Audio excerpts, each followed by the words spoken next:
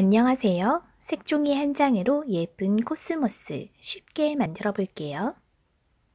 색종이를 총 4번 반으로 접어줄게요. 한 번 반으로 접어줍니다. 두 번째로 반으로 접어주세요. 같은 방향으로 세 번째로 반으로 접어줍니다.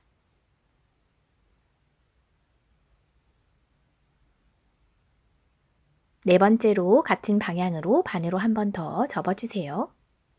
이렇게 총 4번 반으로 접어줍니다.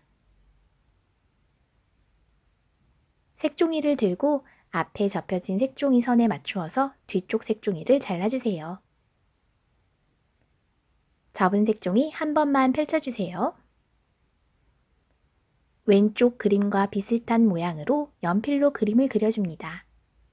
먼저 긴 동그라미 모양을 그려주고 가운데 선을 기준으로 위쪽으로 작은 동그라미를 두 개 그려볼게요.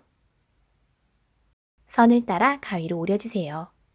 먼저 겉 테두리에 큰 그림을 오려주세요. 그리고 나서 안쪽에 작은 동그라미 두 개를 오려줄게요.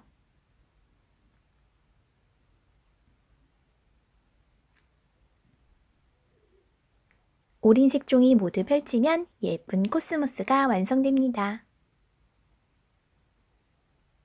노란색 동그라미 스티커로 꾸며볼게요. 완성입니다.